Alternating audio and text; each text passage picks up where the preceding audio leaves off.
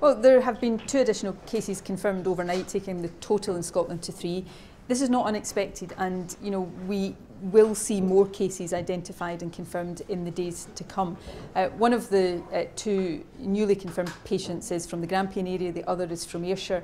Uh, one has recently returned from travel in Italy, the other we know has had contact with another confirmed case, although I would stress it's not the first confirmed case in Scotland.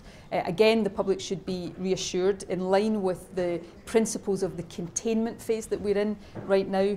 Uh, all of the appropriate steps are being taken, both in terms of caring for patients who are both clinically well, uh, but also contact tracing. So anybody who has been in close contact with any confirmed patients, they are identified, uh, followed up where necessary, tested themselves and given all of the appropriate advice because that is uh, the action we're taking to try to contain the spread of this virus as much as possible. It's important to stress that contacts in, in this context don't mean somebody who might have passed uh, a person with coronavirus in the street or had fleeting contact. Uh, it's people who have been in close face-to-face -face contact or who've been within two metres for periods of 15 minutes or more.